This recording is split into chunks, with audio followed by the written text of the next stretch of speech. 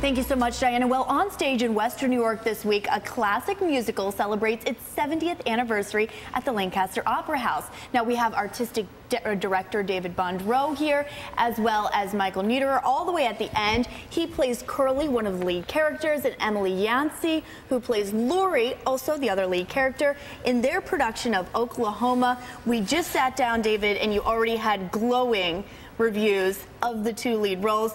One coming from New Jersey, one local from here at Canisius. Talk to me about our uh, actors. Well, these, these two have stunning voices, and Oklahoma at its heart is a love story.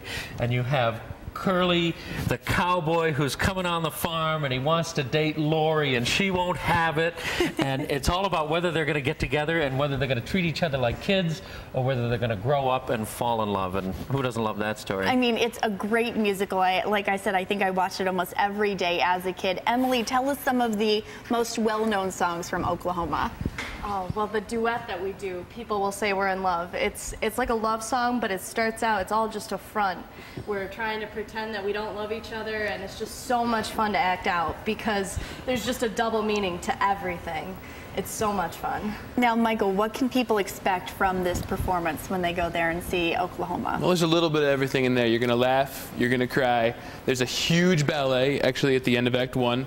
There's a, a, lot of, actually, there's a couple fights in it, and I get to take part in those, which are a lot of fun. Mm -hmm. um, there's, there's really a lot for everyone. Um, you know, definitely, like I said, you're going to laugh, you're going to cry and uh, it's it's very exciting and it's it's a it's a big big deal because it was the first musical to really integrate music into the story um, and now all the musicals that you see today do that before it was really you know let's do these big song and dance numbers mm -hmm. that had nothing to do with the story and okay. now Oklahoma really it's all about how the music is advancing Very the story of the show. Very interesting. Mm -hmm. Now, David, give us more information, the times, dates. You have a fabulous, um, I guess, promotion, you could say, going on this weekend Absolutely. with the production. The, the production runs March 1st through the 17th. Okay. We have three weekends, Friday and Saturday nights at 7.30, Sunday matinees at 2.30. Mm -hmm. And Oklahoma first opened in 1943. Okay. And uh, right, you know, the height of World War II, and they invited all of the soldiers before they went to Europe